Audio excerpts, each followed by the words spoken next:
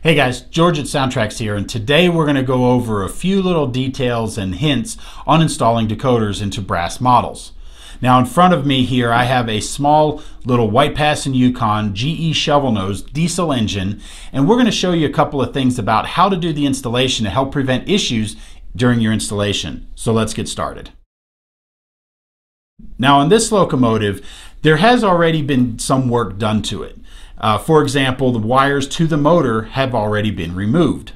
Now, when this model was opened up originally, you have a wire coming in here from the truck, and this one is for the right rail.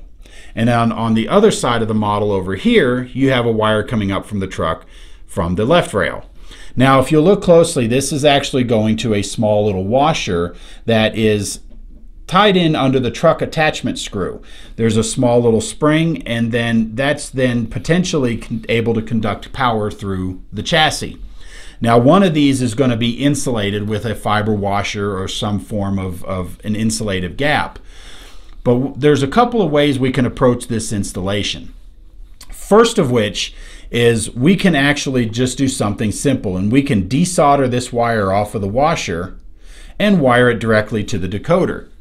Now the decoder is going to typically sit right here above the motor, or you can actually mount it up in the top of the uh, long hood here uh, inside the body shell.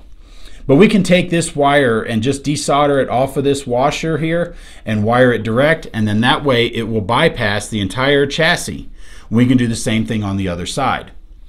The other option, which is a little more labor intensive, but it preserves a little bit more of the original look, is we can actually undo this screw here, pull this spring and the washer assembly up and slide a second fiber washer underneath the metal washer. And what that does is while this truck and everything can still move and rotate because there's the spring, it gives you that extra little bit of gap to make sure that you're not transferring power through the chassis.